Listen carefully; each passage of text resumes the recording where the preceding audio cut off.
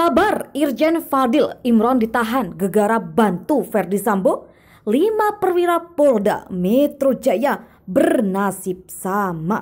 Hasil pemeriksaan dari tersangka FS. Ya. Untuk nanti menjadi uh, jelas, tentunya nanti dalam persidangan akan dibuka semuanya. Ya, ini yang membuat tersangka emosi, ini yang membuat tersangka marah, sehingga tersangka yang memanggil dua orang tadi seperti dijelaskan oleh Pak Dirbidum untuk merencanakan pembunuhan terhadap Brigadir C. Dia mengaku pertama kalau dia yang membunuh itu yang penting dan yang penting juga dia merencanakan pembunuhan itu. Jadi unsur pembunuhan berencana itu sudah terpenuhi. Kami tidak menyangka bahwa Pak Ferdi terlibat ataupun selaku pemerintah untuk di menembak anak kita Yosua. Kan sebagai polisinya polisi harusnya ya dia uh, bukan hanya memperingatkan, menghukum, bisa menghukum, tapi kan tidak perlu mengambil nyawa. Dan apakah iya ya seorang Joshua berani melecehkan istri Kadif Propam ya? Selama dia bekerja di tempat Pak Ferdi Sambo dua setengah tahun kurang lebih, tidak pernah dia menceritakan yang hal-hal yang negatif lah boleh dikatakan ataupun yang menyakitkan. Selalu bercerita yang baik. Selaku hubungan dia dengan Pak Ferdi Sambo dia baik. Selaku atasan dengan bawahan. Begitu juga sama Ibu Ferdi Sambo. Yang keluarga tahu ya khususnya ibunya adiknya dan juga ayahnya dan kakak dan adiknya yang perempuan yang mereka tahu adalah Bapak Sambo ya dan Ibu Putri itu sangat menyayangi Joshua, sudah dianggap seperti anaknya sendiri.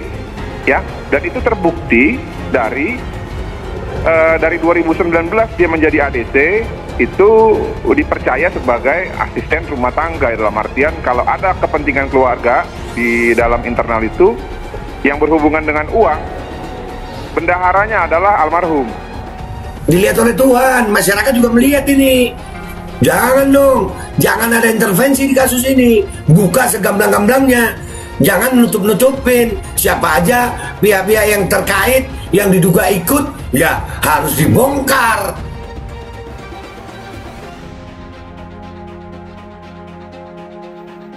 Dikutip dari tribuntimur.com, Kapolda Metro Jaya Irjen Fadil Imran kini menjadi sorotan setelah beredarnya foto yang diperlihatkan dirinya berpelukan dengan Irjen Verdi Sambo. Kapolda Metro Jaya Irjen Fadil Imran diduga kuat membantu Irjen Verdi Sambo untuk menjalankannya skenario pembunuhan terhadap Brigadir J. Kini beredar kabar, Kapolda Metro Jaya Irjen Fadil Imran ditahan setelah menjalani pemeriksaan soal kasus kematian Brigadir J yang melibatkan Ferdi Sambo. Nasib apes menimpa Fadil Imran gegara aksi berpelukannya dengan Ferdi Sambo yang akting menangis di fitnah. Nama Fadil Imran diduga terlibat dan berperan dalam asnar. Nama Fadil Imran diduga terlibat dan berperan dalam skenario Irjen Ferdi Sambo melakukan obstructing of justice. Bahkan lima anggota Polda Metro Jaya sebelumnya sudah ditahan. Aksi pelukan Irjen Ferdi Sambo dan Irjen Fadil Imron viral pasca tewasnya Brigadir J. Berdasarkan informasi, lima pamen bawahan Irjen Fadil Imron ditahan. Di antaranya, satu, Wakil Direktur Reserse Kriminal Umum Wadir Krimum Polda Metro Jaya AKBP Jerry Siagian. Kedua, Kasubdit Resmob Ditreskrimum Polda Metro Jaya AKBP Handik Juse. 3.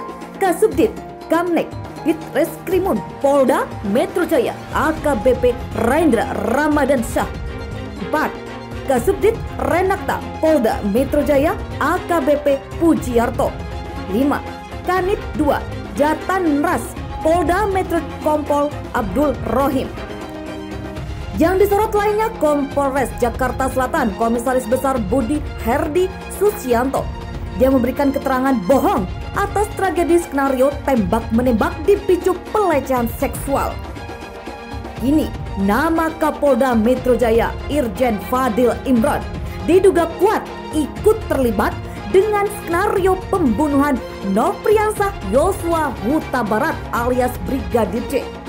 lulusan Akpol 1995 itu dikabarkan tengah diperiksa Inspektorat Khusus atau ITSUS. ITSUS merupakan Itsus merupakan tim bentukan Kapolri Jenderal Listio Sigit Prabowo untuk memeriksa oknum polisi yang diduga melanggar etik dengan menghambat penyidikan kasus pembunuhan Brigadir J. Kini sudah ada 63 polisi yang diperiksa Itsus dan 35 di antaranya dinyatakan melanggar kode etik karena merusak tempat kejadian perkara atau TKP dan barang bukti. Sementara beberapa pekan sebelumnya, pengamat hukum sudah menyebut nama Irjen Fadil Imran sebagai salah satu orang yang harus bertanggung jawab atas perusakan TKP pembunuhan Brigadir J. Komnas HAM menguraikan menit-menit jelang insiden penembakan yang terjadi di rumah dinas Ferdi Sambo pada 8 Juli 2022 lalu yang terekam CCTV. Seperti diketahui, TKP pembunuhan Brigadir J berada di wilayah hukum Polda Metro Jaya tepatnya di rumah dinas mantan Kadif Propam Irjen Verdi Sambo di Kompleks Polri, Duren 3, Pancoran, Jakarta Selatan, Jumat 8 Juli 2022. Kadif Humas Mabes Polri, Irjen Dedi Prasetyo enggan menjawab kabar pemeriksaan Kapolda Metro Jaya.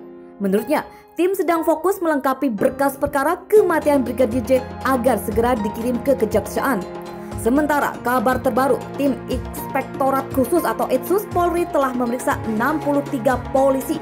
Sebanyak 35 di antaranya dinyatakan melanggar kode etik dengan merusak TKP dan barang bukti serta menghambat proses penyidikan. Dedi juga mengatakan beberapa personel yang diduga menjadi pelanggar terkait kasus ini berada di tempat yang berbeda-beda.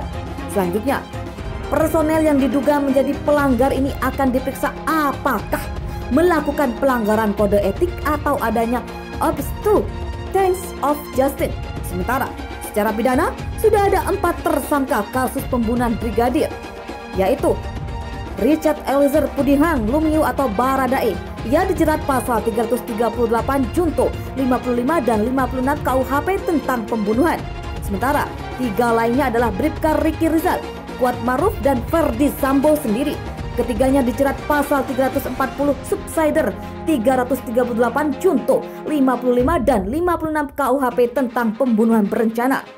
Pengamat hukum yang juga Direktur Eksekutif Amnesty Internasional Indonesia, Usman Hamid, pernah berbicara bahwa awal mula runyamnya kasus Brigadir J adalah sejak ditangani Polres Metro Jakarta Selatan.